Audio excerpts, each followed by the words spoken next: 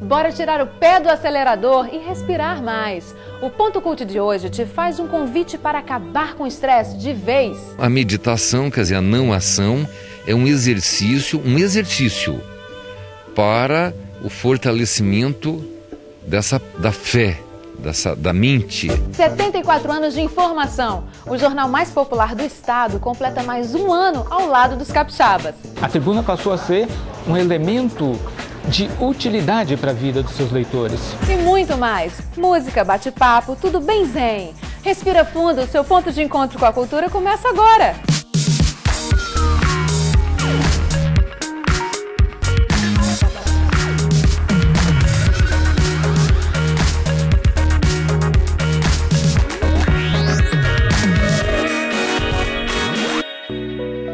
Correria diária, nos esquecemos muitas vezes de nós mesmos.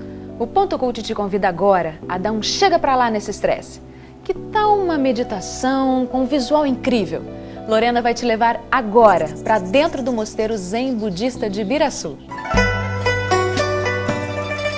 É difícil não reparar o enorme arco vermelho à beira da BR-101 Norte em Ibiraçu.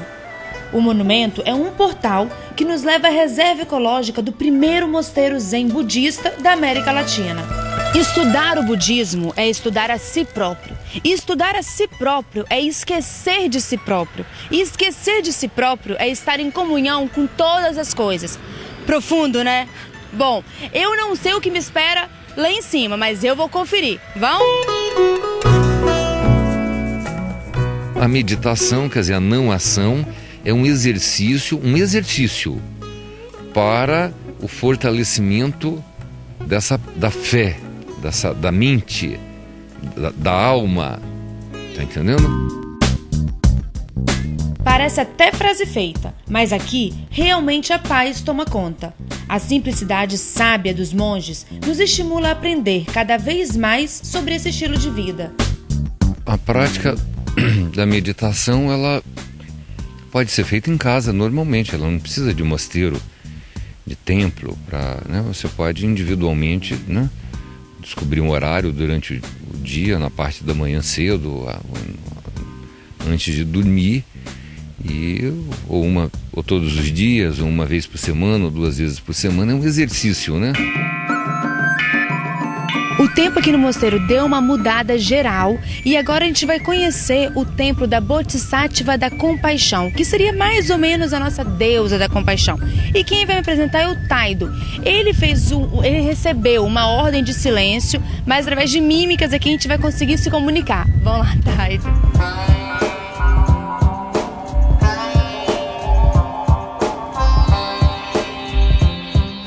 E quando eu menos esperava, fui convidada a fazer minha primeira meditação.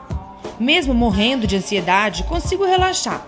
E para mostrar que é mais simples do que parece, uma garotada também entrou no clima. Aqui, seis da tarde hora do jantar. E já que os monges estão com uma baita visita, o cardápio foi caprichado. Hum, pizza vegetariana com queijo. A turma adorou. E é com gostinho de pizza e com a sabedoria dos monges que a gente se despede desse passeio sensacional.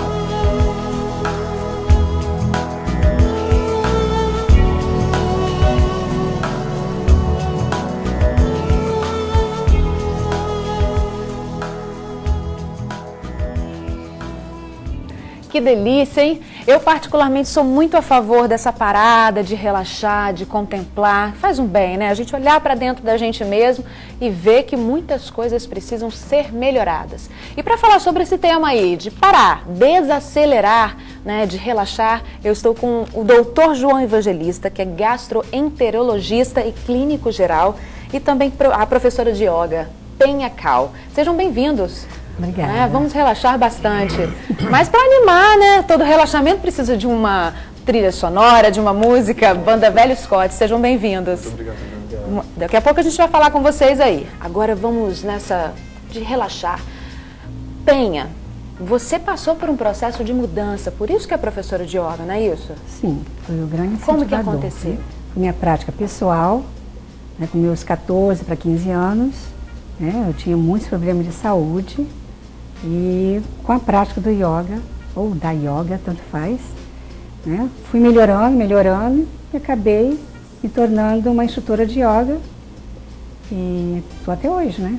É. Já fiz outras funções na minha vida, mas o yoga ainda permanece, né? Porque ela foi introjetada desde aquela época que eu precisava muito. E o que, que você tinha daquela época, assim, que fez você começar yoga? Aí Eu tomava remédios, né, para, para disritmia cerebral, né, remédios, bronquite, asma, né, alergias de modo geral.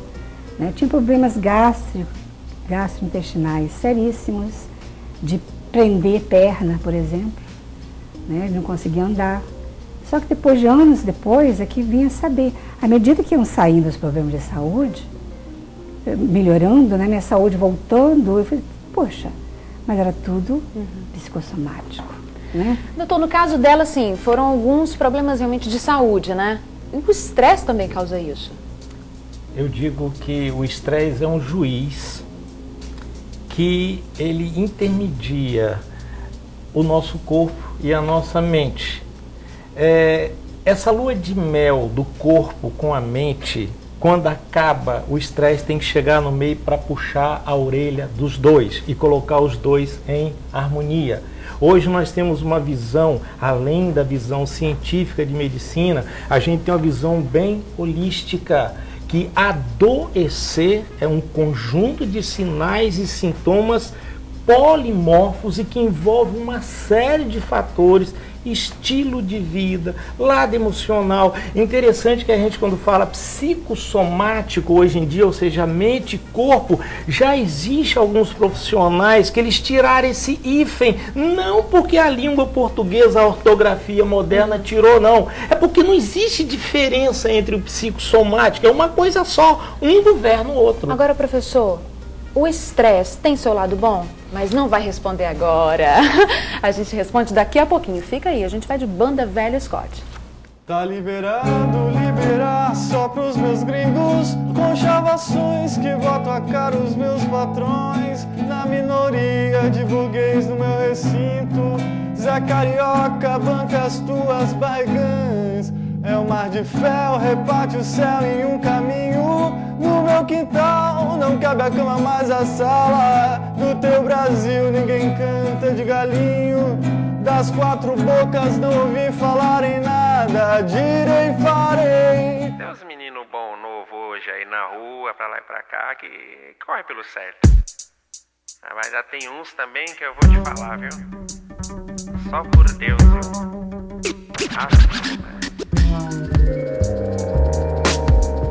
Mandei falar pra não arrastar, não botar o fé, subir os dois tiozinho. O é louco, solta de rachar. Vários de campana aqui na do campim. Mas quem quer preta, mas quem quer branca. Todo azulê requer seu rejunte. Pleno domingão, flango macalão. Se o negócio é bom, cê fica chinesinho. Sensa aqui, patrão, aqui é a lei do cão. Quem sorri pra ti quer ver tu cair. É, é justo, é Deus, o homem não. Ouse me julgar, tente a sorte, filho.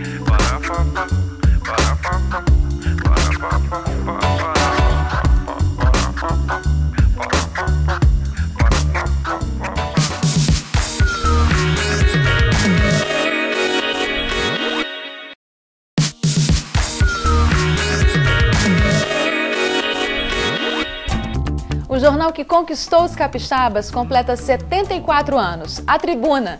Uma trajetória escrita cada dia com a ajuda dos leitores. E fomos ao coração do jornal, a redação, para conversarmos com uma fera do jornalismo que, assim como a Tribuna, tem muita história para contar.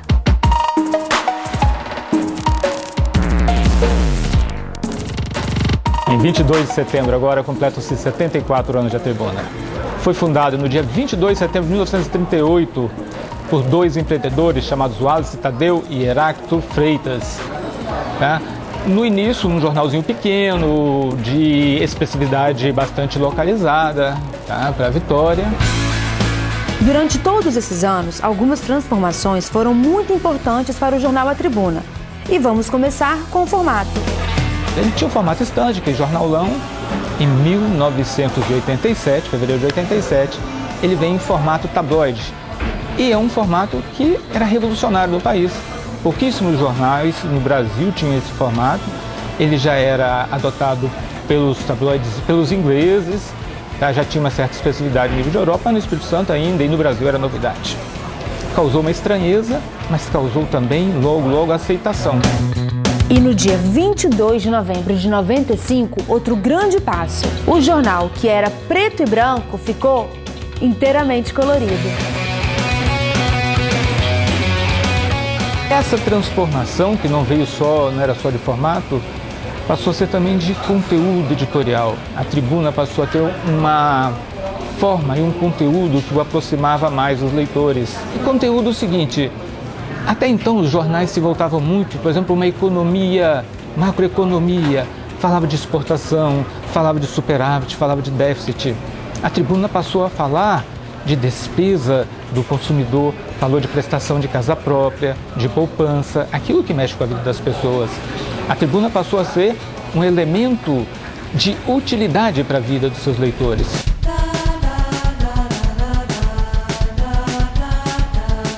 É o maior jornal do estado, um dos maiores do país. É aquele jornal que as pessoas, quando vão comprar o café da manhã, indiscutivelmente querem levar junto para saber como está a situação em nível regional, em nível nacional e de que forma é a sua vida também pode ser pautada a partir dessas transformações que estão acontecendo. O jornal não é só informativo, ele é qualificativo, ele ajuda o leitor a tomar decisões, ele ajuda o leitor a ter uma clareza sobre o seu dia a dia, sobre aquilo que está acontecendo.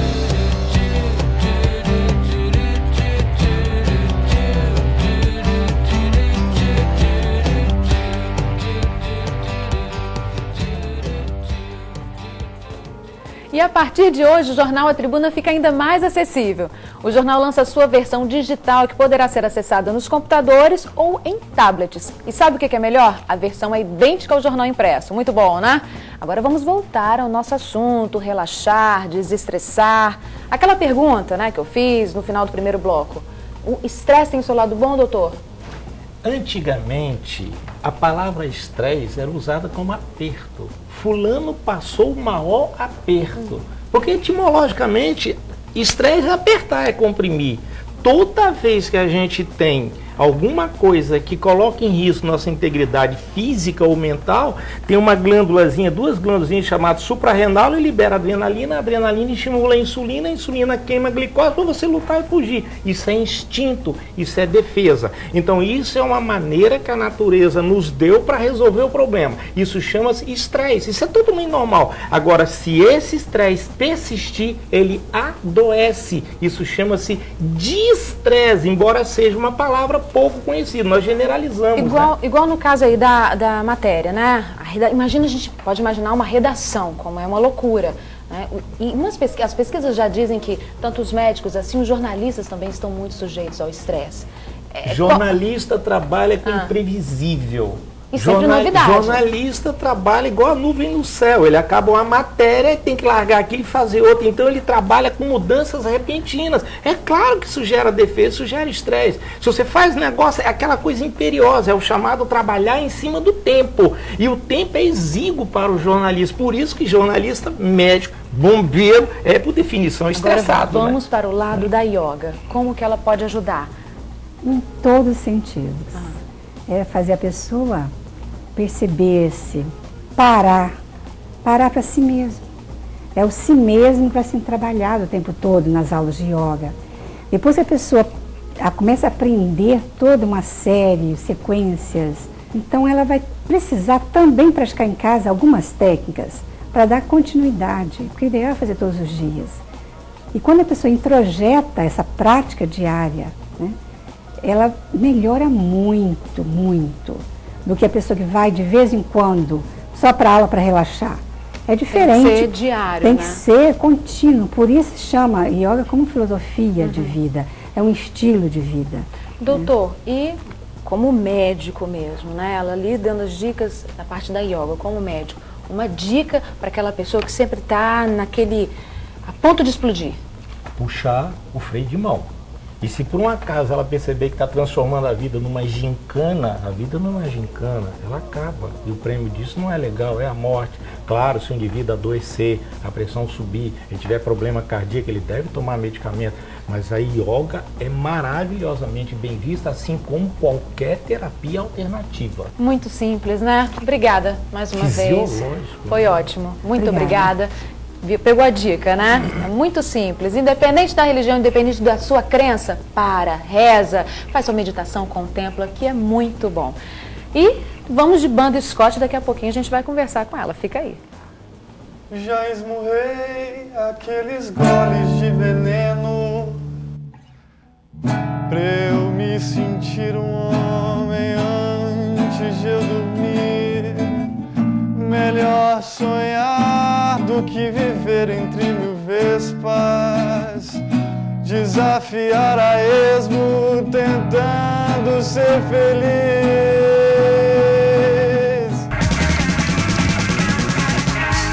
E moçada, meu nome é Derek, eu sou guitarrista Califa e minha dica cult é o rock, livro Rock Crise, do Zé Neves, que conta a história do rock capixaba desde os idos de 1960 até o último grande evento que foi o Dia D.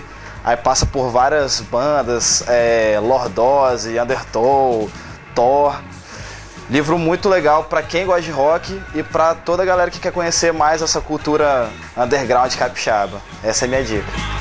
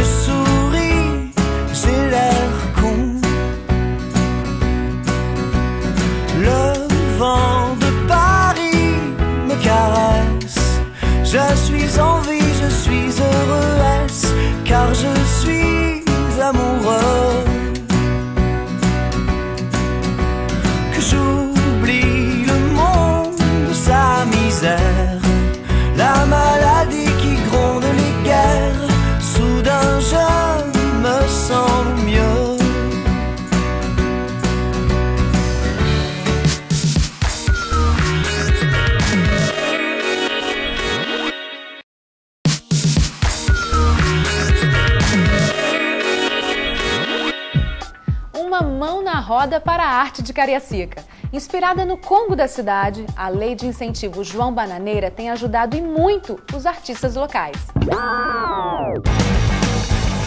Viver de arte não é fácil, mas em Cariacica os artistas contam com uma ajuda para lá de boa. É a Lei de Incentivo à Cultura João Bananeira. A Lei João Bananeira é uma lei de incentivo né, à cultura que existe no município de Cariacica e que ela vem oportunizar a todos os artistas que são moradores do nosso município para que, que quem tenha um projeto, para quem tenha uma boa ideia, para quem tenha talento, e não são poucos, para que essa ideia, para que esse talento né, possa se transformar em produtos como esses aqui que nós temos aqui. Mas antes, é preciso montar um projeto caprichado. Hipólito se esforçou e foi um dos mais de 120 artistas contemplados. Eu fiz a escultura que reproduzia 100 peças da Igreja São João Batista. Que é essa que está aqui atrás da gente, né? Exatamente. Eu não acreditava muito em lei de incentivo, mas eu acho que a partir desse material aí, desse propósito e da lei João Bananeira, dá para acreditar. Né? Deu certo.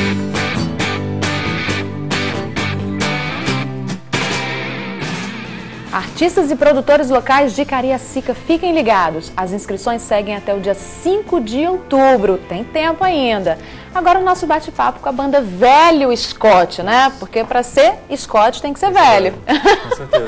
e como que vocês resolveram aí montar a banda? Como que aconteceu? Então, eu estudo com, com o Rafa e com o Mário, que é baterista, irmão do, do João, desde o pré. Né? Nossa. E aí a gente tem esse convívio eterno, pelo menos a gente tenta manter isso, né? São irmãos, tem... né? É, e esse aqui chegou assim em 2010, né, para trazer, tomar frente das guitarras, que ou, aconteceram algumas mudanças é, durante o percurso da banda, né? E foi, foi a colagem certa, né? O Agora, pai dele ajuda a gente. Anderson, muitos festivais que vocês já participaram, Isso, a né? gente deu uma, uma circulada legal. A gente começou com o Festival Prato da Casa, depois participamos do Omelete Marginal, participamos do Festival de Música Livre, fomos para Ipanema no Oi Novo Som, voltamos, abrimos o, show do, do J Quest do Rapa. Aí a gente deu uma pausa justamente para a produção do, do videoclipe. Do videoclipe. Né? Eu também entrei dentro da. Universidade Federal para estudar música, além de fazer comunicação na UVV. E fala pra gente do CD. E o CD, assim, Bem foi, bacana a foi capa, nossa, hein? foi maravilhoso, né? Essa capa ficou divina. É, esse- Eu tô segurando essa é um mas trabalho, isso, exatamente. Você pode tirar como que o nosso, o nosso disco se chamou Parto, né? Você pode justamente arrancar o, o, o disco assim. Sim.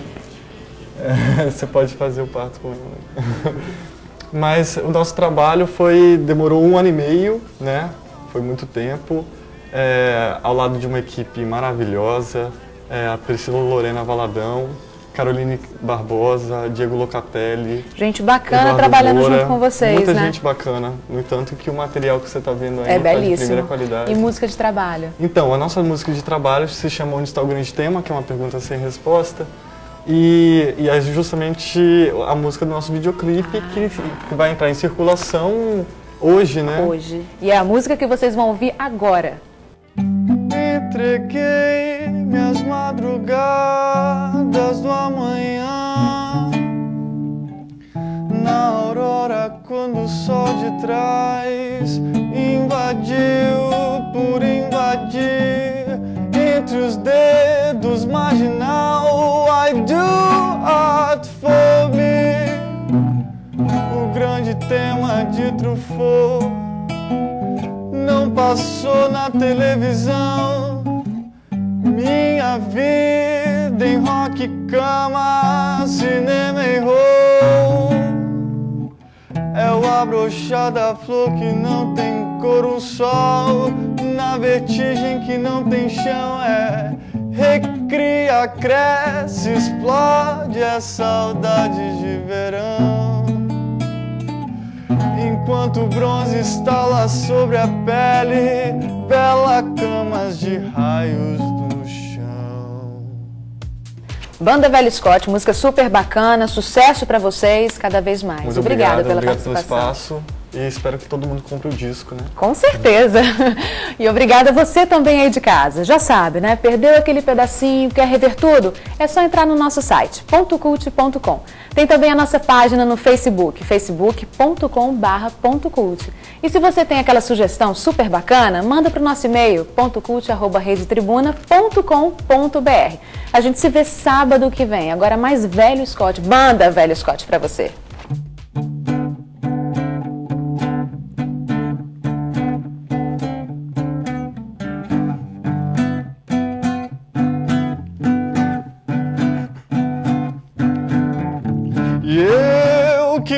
Fui feliz, pude ver o oposto do escárnio tão barato a troco de um trago. Já todo mundo vai ficar zen. Não, todo mundo vai ficar mais zen. Ó. Preto e branco virou inteiramente. Ficou. Não virou, não, ficou. E no dia. E no dia. Chega pra lá no estresse. E os 70 do jornal A Tribuna. E ainda, bate. Se você falar mais uma vez, não me interessa, eu levanto daqui e vou ir agora.